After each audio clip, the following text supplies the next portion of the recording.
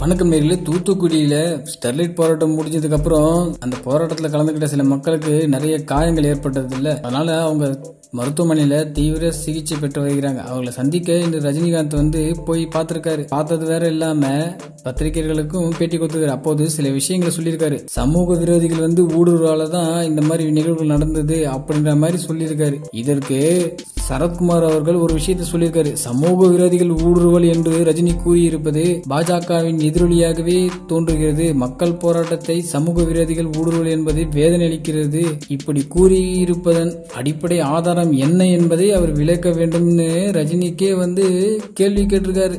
Sterlite போராட்டம் ஒரு பக்கம்னா இவங்க மாத்தி மாத்தி பேசிக்கிட்டு இருந்து இன்னொரு பக்கம் போராட்டமா இருக்குது. இருந்தாலும் சரத்குமார் அவர்களே நீங்கள் வந்து இதுக்கு முன்னாடி எந்த கட்சியில இருந்தீங்க?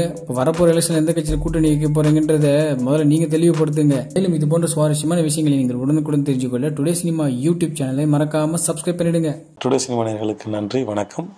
Please subscribe to today cinema